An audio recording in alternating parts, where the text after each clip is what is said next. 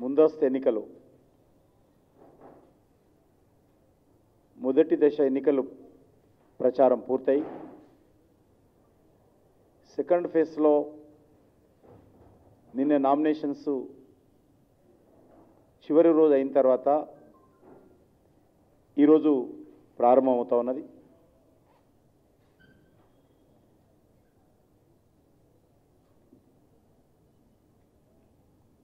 ఈరోజు తెలంగాణ రాష్ట్ర ఎన్నికల ముఖ చిత్రం చూసినట్లయితే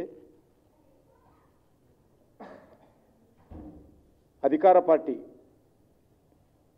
టిఆర్ఎస్ మొదటి దశ ఎన్నికల పూర్తయిన తర్వాత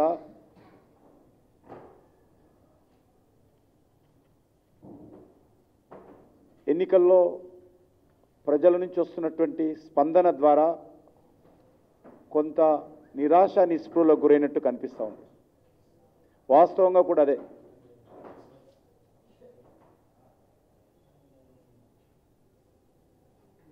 రాష్ట్రంలో అధికార పార్టీ టిఆర్ఎస్ పార్టీ చెందినటువంటి ఎమ్మెల్యేలు గ్రామాలు పర్యటిస్తున్నప్పుడు తీవ్రమైనటువంటి వ్యతిరేకత ఏర్పడతా ఉంది. ఎంత దిగజారి ఉపన్యాసాలు ఇస్తున్నప్పటికీ కూడా టీఆర్ఎస్ పార్టీ నాయకులు కావచ్చు ఇక్కడ కాంగ్రెస్ పార్టీ నాయకులు కావచ్చు. ప్రజలు అసహించుకుంటున్నటువంటి పరిస్థితి ఉన్నది. ఎక్కడికి వెళ్ళినా కూడా మా ఉద్యోగాలు ఏంటి మా టూ బెడ్రూమ్ ఏంటి మా మూడెకరాల స్థలం ఏంటి మా యొక్క పొదుపు సంఘాలకు సంబంధించినటువంటి పావులా వడ్డీ ఏంటి? ఈరోజు నాయకులను నిలబెట్టి ఊరు బయటనే తిప్పి పంపిస్తున్నటువంటి పరిస్థితి ఉన్నది. మరి ఫస్ట్ ఫేజ్కు సెకండ్ ఫేజ్కు మధ్యలో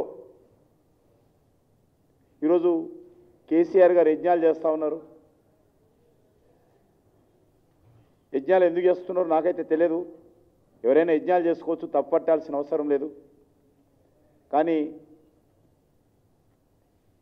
యజ్ఞాలు జనరల్గా వ్యక్తిగత విషయాలపైన లేక మానవ కళ్యాణం కోసమో లోక కళ్యాణం కోసమో యజ్ఞాలు చేసినటువంటి సంఘటనలు చూసాం చాలా సంతోషం. మరి ఎన్నికల మధ్యలో యజ్ఞాలు ఎందుకు చేస్తున్నారో ప్రజలు అర్థం చేసుకోవచ్చు. మొదటి ఫేజ్ పూర్తయిపోయిన తర్వాత రెండో ఫేజ్ ప్రారంభమవుతున్నటువంటి ఈ సమయంలో ముఖ్యమంత్రి గారు యజ్ఞాలు చేయడం ద్వారా మరి ప్రజల నుంచి స్పందన చూసి యజ్ఞాలు చేస్తూ ఉన్నారా? ప్రజల నుంచి స్పందన లేదని యజ్ఞాలు చేస్తూ ఉన్నారా? ప్రజల నుంచి వ్యతిరేకత వస్తుందని యజ్ఞాలు చేస్తున్నారో నాకైతే అర్థం కావడం లేదు. మరి అది ప్రజలు అర్థం చేసుకోవాల్సినటువంటి విషయం. ముఖ్యంగా టిఆర్ఎస్ పార్టీ ఖచ్చితంగా మరింతగా రోజు రోజుకు దిగజారేటువంటి పరిస్థితి ఏర్పడింది. ప్రజలు గత నాలుగున్నర సంవత్సరాలుగా పోలీస్ నిర్బంధం కారణంగా ప్రశ్నించలేకపోయి ఉంటారు. ధర్నాలు చేయనీయలేదు కాబట్టి ఊరేగింపులు అడ్డుకున్నారు కాబట్టి సభలకు అనుమతి ఇవ్వలేదు కాబట్టి మరి ప్రభుత్వము ఆ రకంగా నిరసనలు ఎదురు కాలేదేమో కానీ ఈరోజు ఎన్నికల్లో పోలీసులు అడ్డుకోలేరు. టీఆర్ఎస్ ప్రభుత్వం యొక్క అనుమతులు అవసరం లేదు. ధర్నాలు వద్దన్నారు కానీ ఓటు హక్కును ఆపేటువంటి అవకాశము టీఆర్ఎస్ పార్టీకి లేదు. ధర్నా చౌక్లో ధర్నాలు ఆపొచ్చు. నిజాం కాలేజీలో బహిరంగ సభలు లేకుండా ఆపొచ్చు. ఉస్మానియా యూనివర్సిటీలో విద్యార్థుల యొక్క నిరసన కార్యక్రమాలు ఆపొచ్చు. కానీ ఏడో తేదీన జరిగేటువంటి ఎన్నికల్లో ఓటు హక్కును ఆపేటువంటి అధికారము అవకాశము టీఆర్ఎస్ పార్టీకి లేదనే విషయాన్ని ఈ సందర్భంగా మనిచేస్తున్నాను చాలా ఈరోజు ప్రజల్లో ఏదైతే వ్యతిరేకత ఉందో ఖచ్చితంగా ఏడో తేదీన జరిగేటువంటి ఎన్నికల్లో టీఆర్ఎస్ పార్టీకి తెలంగాణ ప్రజలు రుచి చూపిస్తారు.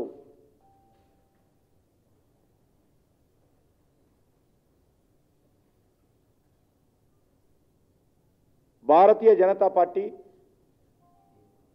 గత పది రోజులుగా ఈరోజు మంచి వాతావరణం ఈరోజు అనుకూలమైనటువంటి వాతావరణం బీజేపీకి ఏర్పడతా ఉంది.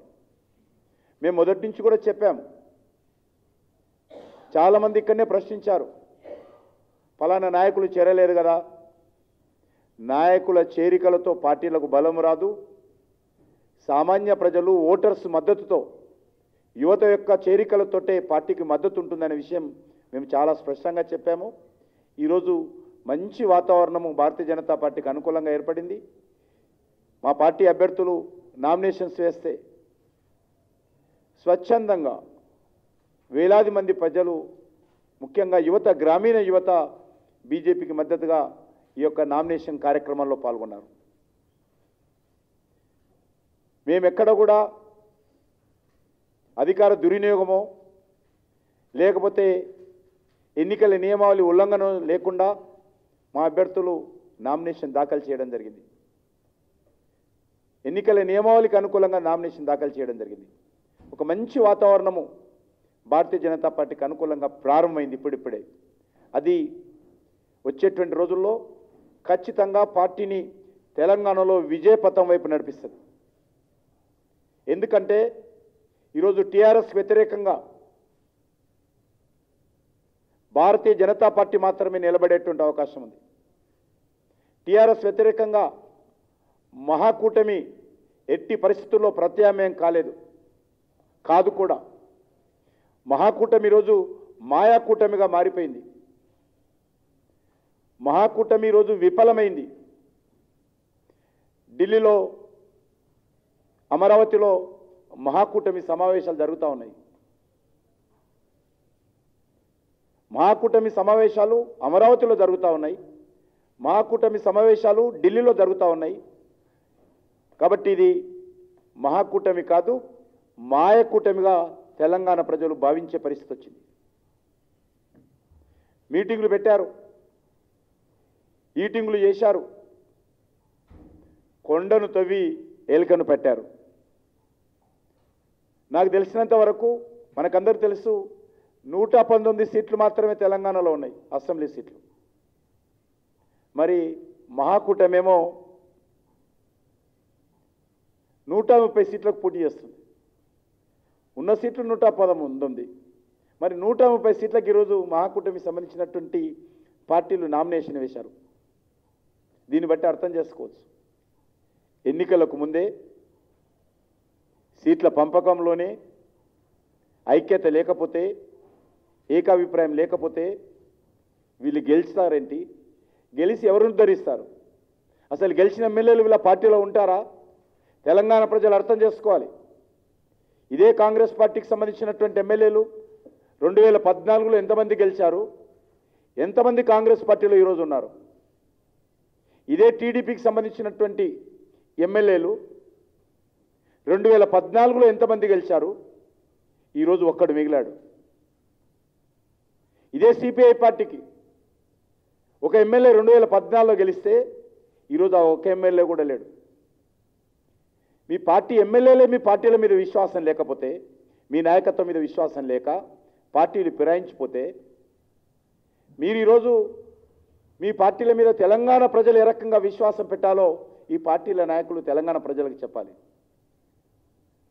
కాబట్టి మాయకు మహాకూటమి ఏదైతే ఉన్నదో వీళ్ళు ఒకరిపై ఒకరు పోటీ చేసుకుంటున్నారు.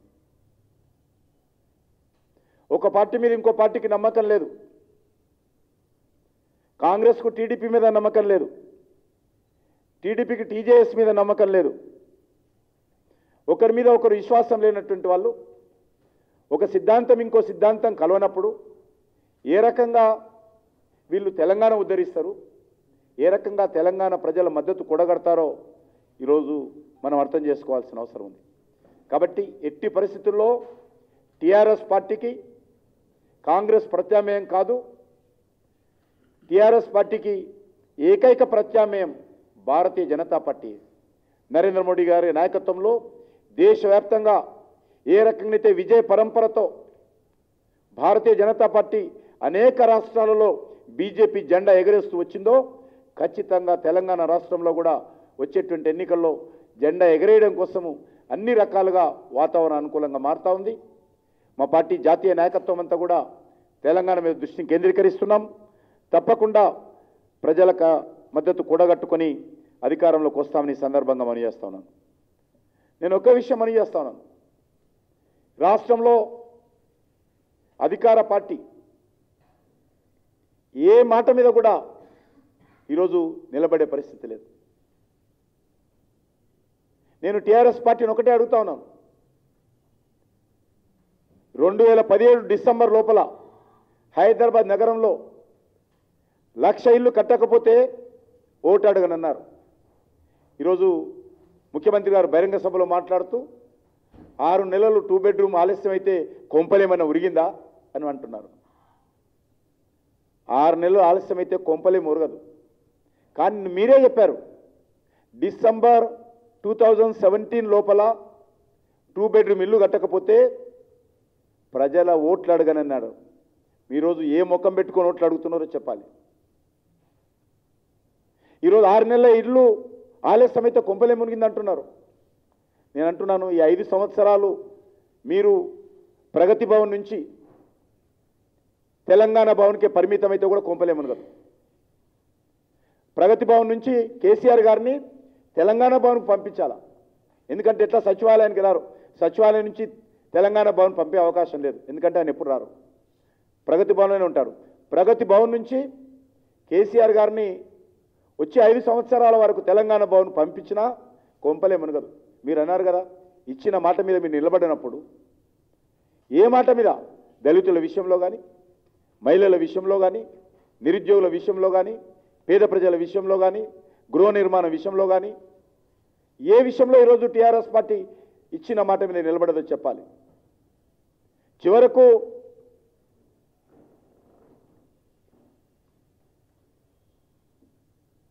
ఆయన మొన్న మాట చెప్పారు. మిషన్ కాకతీయ డెడ్ లైన్ పెట్టారు. మిషన్ భగీరథ. ఇంటింటికి పైప్ లైన్ ద్వారా ఇంటింటికి పైప్ లైన్ ద్వారా తెలంగాణ రాష్ట్రంలో నీళ్ళు ఇచ్చేటువంటి కార్యక్రమానికి డెడ్ లైన్ పెట్టారు. ఆగస్టు పద్నాలుగు. ఆగస్టు పద్నాలుగు డెడ్ లైన్ పెట్టారు. ఆగస్టు పద్నాలుగు అర్ధరాత్రి వరకు రాష్ట్రంలో ప్రతి ఇంటికి నీరు ఇవ్వాలని డెడ్ లైన్ పెట్టారు. ఈరోజు ఎంత డేటు? ఈరోజు నవంబర్ నైన్టీన్త్లో ఉన్నాం. కాబట్టి మీరు ఇచ్చినటువంటి డెడ్ లైను ఎక్కడ అమలు జరిగిందని అడుగుతా ఉన్నాను.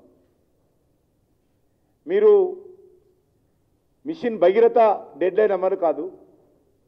టూ బెడ్రూమ్ డెడ్లైన్ అమలు కాదు. చివరకు హైదరాబాద్ నగరంలో స్కైవేస్ అమలు కాదు. రోడ్ల మీద గుంతలు పొడిచరు. టూ బెడ్రూమ్ స్కీమ్ అమలు కాదు. అసలు పంద్రా ఆగస్టు లోపల అన్ని గ్రామాలకు నీరు ఇవ్వాలి. ప్రతిరోజు మిషన్ భగీరథ పనుల మీద పర్యవేక్షణ జరగాలి.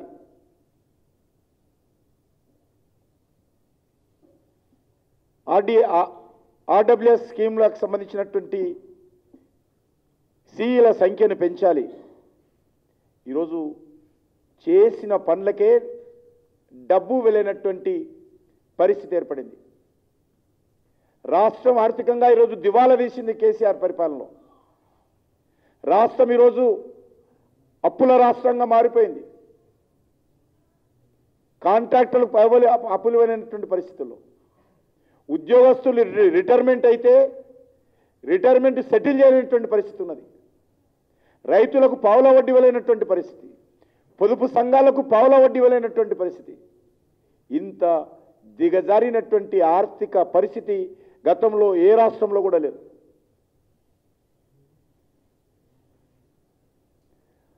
మహిళలు ఎంతో కష్టపడి పొదుపు సంఘాలకు సంబంధించి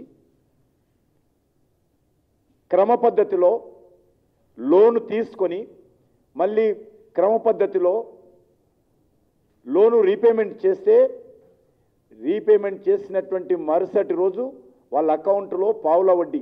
ఎందుకంటే లెవెన్ పర్సెంట్ వడ్డీ రేటు వాళ్ళ దగ్గర వసూలు చేస్తున్నారు. Eleven percent.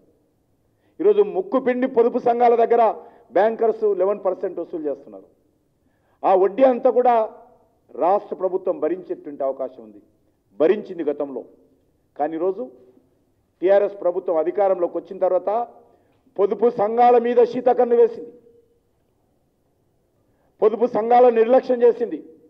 పొదుపు సంఘాలంటే ముఖ్యమంత్రి కొడుకుకు ముఖ్యమంత్రి కూతురు ముఖ్యమంత్రి గారి మీటింగ్లకు మాత్రమే జనాభా తరలించేటువంటి కార్యక్రమం అనుకుంటున్నారు కేసీఆర్ గారు.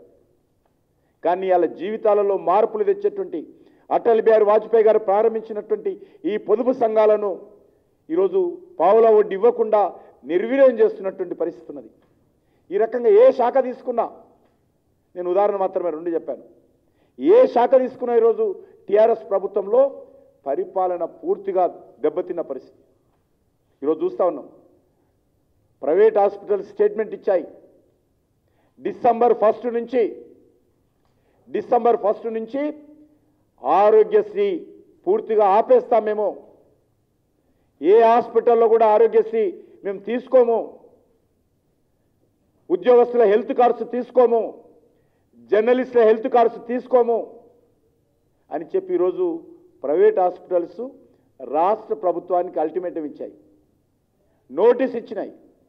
మాకు ఇవ్వాల్సినటువంటి ఎనిమిది నెలల నుంచి సుమారు పదమూడు వందల కోట్ల రూపాయలు హాస్పిటల్స్కు ప్రభుత్వం బాకీలు ఉన్నాయి ఆ బాకీలు చెల్లించేంత వరకు ఆరోగ్యశ్రీ కానీ ఉద్యోగస్తుల హెల్త్ కార్డ్స్ కానీ జర్నలిస్టుల హెల్త్ కార్డ్స్ కానీ మేము అమలు చేయబోమని చెప్తా ఉన్నారు. కానీ ప్రభుత్వం మీనమేషాలు లెక్క పెడతా ఉంది. ఆర్థిక పరిస్థితి పూర్తిగా దివాలా తీసేటువంటి పరిస్థితి ఏర్పడింది. మరి ప్రభుత్వం ఈరోజు మరి ముఖ్యమంత్రి గారేమో మూడు ఎకరాలు ఇవ్వకపోతే ఏమైంది? ఇండ్లు కట్టకపోతే ఏమైంది? టీఆర్ఎస్ ప్రభుత్వం ఏర్పడకపోతే ఏమవుతుందని నేను అడుగుతున్నాను. కేసీఆర్ గారు ముఖ్యమంత్రి కాకపోతే ఏమవుతుంది కేటీఆర్ గారు మంత్రి కాకపోతే ఏమవుతుంది? ఏం కాదు. మీరు ఇల్లు కట్టకపోతే ఏం కాదో మీరు పది అధికారంలో రాకున్నా కూడా ఏం కాదు.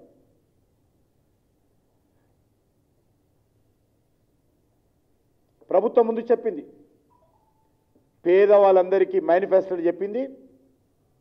పేదవాళ్ళందరికీ టూ బెడ్రూమ్ ఇల్లు కట్టిస్తామని.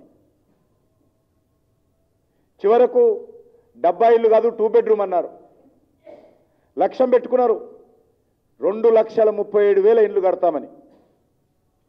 మరి ఇప్పటి వరకు ఎన్ని ఇండ్లు కట్టారో ఎంతమంది లబ్ధిదారులకు ఇచ్చారో చెప్పాలి. హైదరాబాద్ నగరంలో ఐడిహెచ్ కాలనీ తప్ప ఒక్క ఇల్లు కూడా ఇప్పటి వరకు లబ్ధిదారులకు ఇవ్వలేదు. వీళ్ళు కట్టిన ఇల్లు కాదు గతంలో ఉన్నటువంటి ప్రభుత్వం కట్టినటువంటి అంబేద్కర్ ఆవాస్ యోజన ఇండ్లు కానీ రాజీవ్ గురకల్ప ఇండ్లు కానీ ఇవేవి కూడా ఈరోజు ఎక్కడ వేసిన గొంగడ అక్కడే ఉన్నది. కాబట్టి ప్రభుత్వం ఈరోజు సంక్షేమ కార్యక్రమాలు అభివృద్ధి కార్యక్రమాలు పూర్తిగా నిర్వీర్యమవుతున్నట్టు పరిస్థితి ఉన్నది. అంతేకాకుండా అన్ని రంగాలలో చివరకు దేశ భద్రత విషయంలో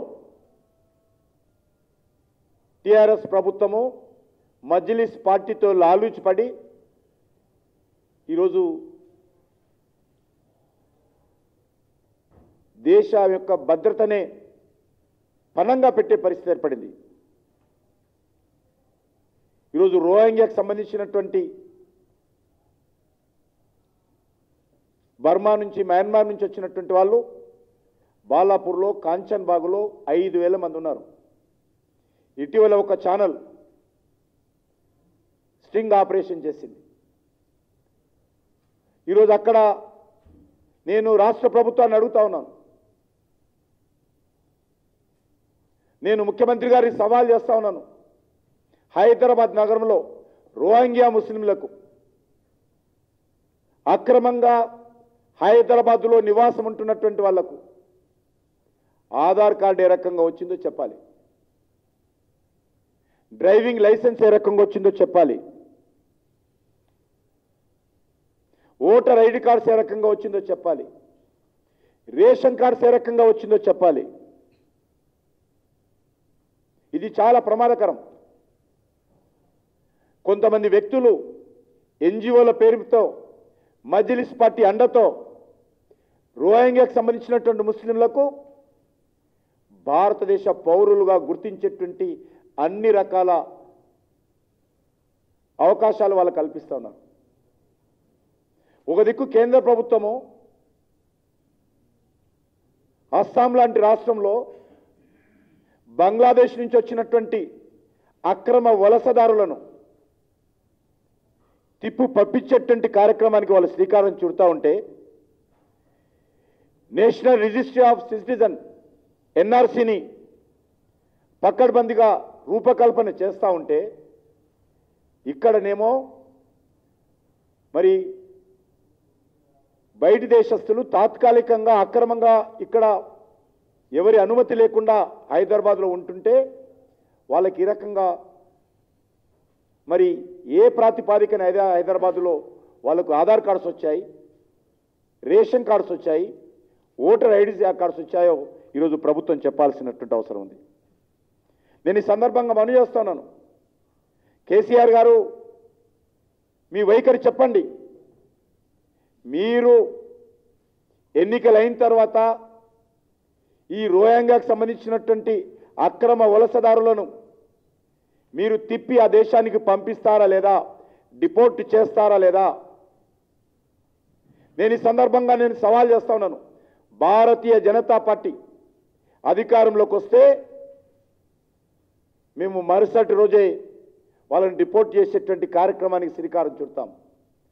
స్పష్టంగా మేము ప్రభుత్వ అధికారులకు ఆదేశాలు ఇస్తాం. ఆ యొక్క అక్రమంగా ఉన్నటువంటి వాళ్ళు. వాళ్ళు రేషన్ కార్డు పొందినా డ్రైవింగ్ లైసెన్స్ పొందినా ఆధార్ కార్డు పొందినా లేకపోతే ఓటర్ ఐడి కార్డు ఉన్నప్పటికీ కూడా నిర్దాక్షిణ్యంగా నేషనల్ రిజిస్ట్రీ ఆఫ్ సిటిజన్ ఎన్ఆర్సీని ఇక్కడ కూడా హైదరాబాద్లో కూడా మరి ఏర్పాటు చేయాల్సినటువంటి పరిస్థితి వచ్చిందనే విషయాన్ని ఈ సందర్భంగా భారతీయ జనతా పార్టీ అమలు చేస్తుందని చెప్పి కూడా నేను మనవి చేస్తున్నాను మేము తప్పకుండా వాళ్ళని రిపోర్ట్ చేస్తాం. కాబట్టి ప్రభుత్వం ఏమో దేశం ఏమైపోయినా పర్లేదు. మేము మజ్లిస్ పార్టీ మా ముఖ్యము. మజ్లిస్ పార్టీ మద్దతుదారుల ఓట్లే మాకు ముఖ్యము. మజ్లిస్ పార్టీ మద్దతుదారులతోటే తెలంగాణలో మేము అధికారంలోకి వస్తామనేటువంటి పగటి కళలతో ఈరోజు దేశ భద్రతను పనంగా పెడుతున్నటువంటి పరిస్థితి ఉన్నది. అసలు టీఆర్ఎస్ పార్టీకి దేశ భద్రత మీద నమ్మకం లేదు. టీఆర్ఎస్ పార్టీకి రాజ్యాంగం మీద గౌరవం లేదు. రాజ్యాంగం మీద గౌరవం ఉంటే ఈరోజు పార్టీ ఫిరాయించినటువంటి వ్యక్తులను మంత్రులుగా చేసేది కాదు. పార్టీ ఫిరాయించినటువంటి వ్యక్తులను మంత్రులుగా చేసేటువంటి అవకాశం లేదు. కాబట్టే ఈరోజు టీఆర్ఎస్ పార్టీ ఈ రకమైనటువంటి వ్యవహారం చేస్తూ ఉన్నది. ఖచ్చితంగా టీఆర్ఎస్ పార్టీకి గుణపాఠం చెప్తాం అనేటువంటి ఆలోచన ఈరోజు తెలంగాణ ప్రజలలో ఎక్కడ వెళ్ళినా కనిపిస్తూ ఉంది. తీవ్రమైనటువంటి ప్రతి ఘటన ఈరోజు టీఆర్ఎస్ పార్టీ ఎదుర్కోవాల్సి వస్తూ ఉంది. దానికి మరి ప్రజలు ఇప్పటికే ఆలోచన చేస్తూ ఉన్నారు.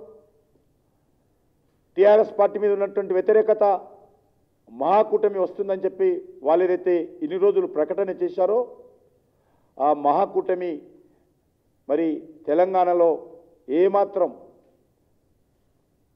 ప్రజల మద్దతు కూడగట్టలేదనే విషయము అర్థమవుతా ఉంది.